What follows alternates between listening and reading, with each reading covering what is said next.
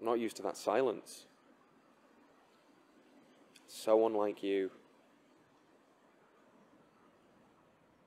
I thought I was doing okay when you went, Mum. But I'm not doing okay. I love her. She's all I think about when it's quiet. And since she's gone, the house has been so. So quiet. I. I don't think I know how to be alone.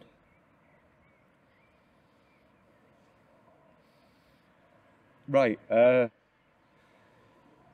I'm gonna go. I'm gonna go for a walk. I don't fancy going home just yet. See you later, Mum. Happy birthday.